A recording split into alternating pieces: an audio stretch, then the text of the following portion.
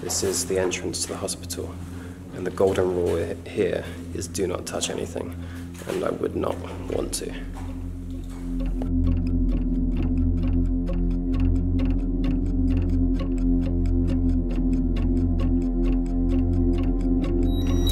So yeah, it's about 50 times higher than more, actually 60.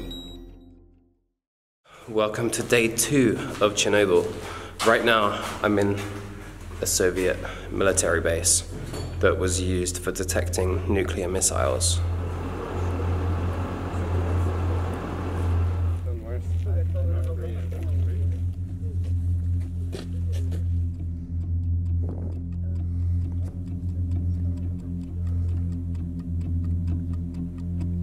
This is an old Soviet warning system for nuclear missiles. It would detect missiles coming over the Atlantic.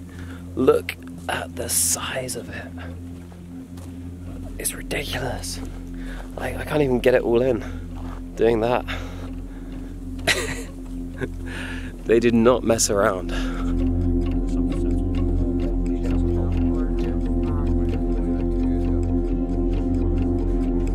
Okay, so this is the inside.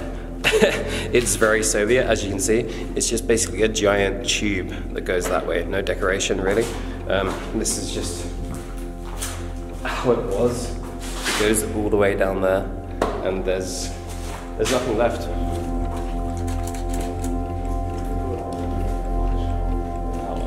Look at that, right behind me. the old control systems. This is crazy. Look how it's just completely abandoned. This is the propaganda room.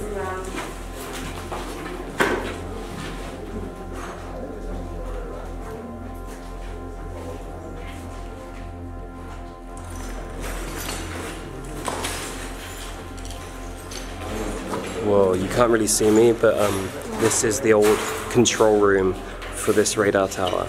All the consoles are still here, and you can just walk around it. Like, look at this. It's that is it's exactly as it was. It's been untouched, and that would have been the screens up there. I think strictly, we're not allowed to come into these places because it's meant to be no going inside any buildings within Chernobyl. But all the tour groups will go in anyway.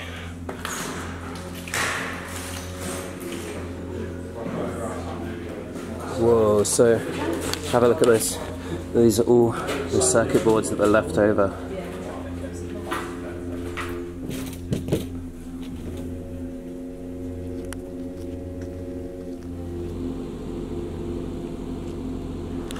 We're now on the way to an abandoned cooling tower. This was never finished and it was meant to be for reactor 5 I believe.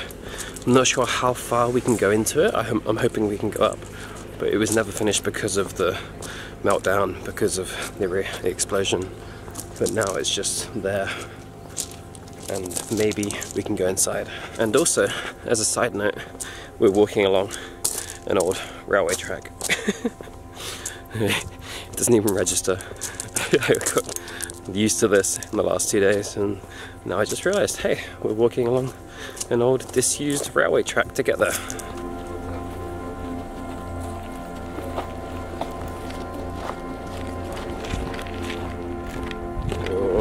This is very cool. Look at that. Wow. Stay only on the concrete don't walk on the moss or mud. So right now it's 1.7. Okay. It's in different places. Yeah. It can go up, but it's better to avoid it. So it's standard 1.7 here anyway? Ooh, okay. 296.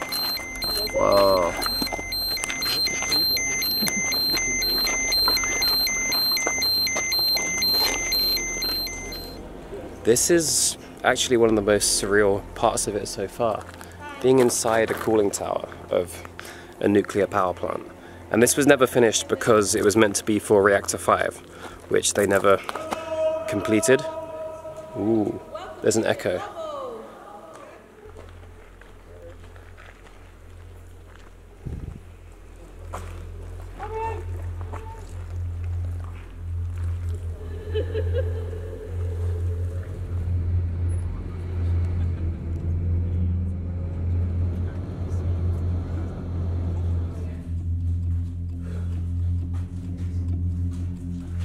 I'm in the hospital now in Pripyat. This was ground zero. This is where everyone came after the events in 1986. Look at this. This is the maternity ward.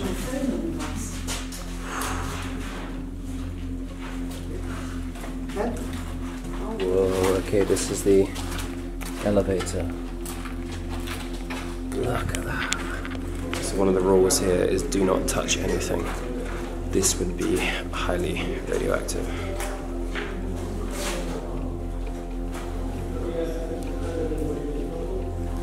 There's mud right below me. Even walking in this feels like something I shouldn't be doing.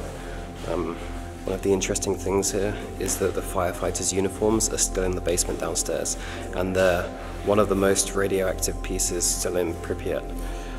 You can't move them because they're just leave them there, and they're out of sight, out of mind. But the basement isn't even sealed off. If I wanted to, I could walk into it, and I could go right up to the firefighters' uniforms. It's not something I'm going to do.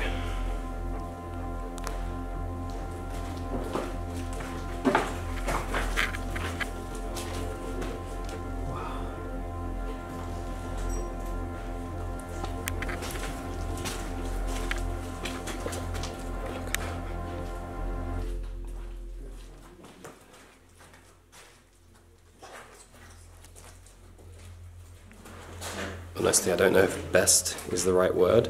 Maybe most interesting, but this is the most interesting part of Pripyat so far. Being in the hospital, I guess, is absolutely bizarre, for lack of a better word. Seeing it as it was, everything left the same way it would have been in 1986.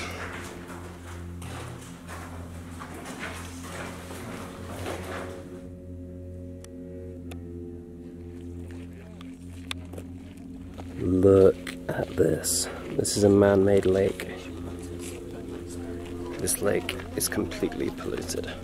It was man-made and apparently the radiation has sunk to the bottom as far as I understand it, but it's still polluted so you would not want to go in there. There's still some fish swimming around.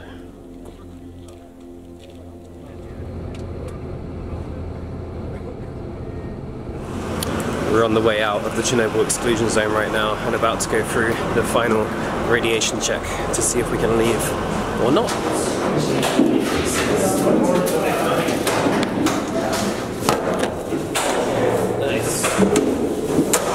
Okay, well that's it.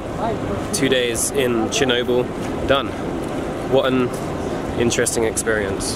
Completely surreal, completely mind-blowing, and even though I expected it to be quite touristy after the HBO series. It wasn't nearly as many people as I imagined. Yeah, an experience. The only other thing I have to say is if you do want to book this tour, the whole thing I've done with Soviet Wastelands, Young Pioneers, the, the link will be in the description. Go check it out and you can do exactly what I've done through Moldova, Transnistria and finishing with Chernobyl. For now, thank you for watching and I'll see you in the next video.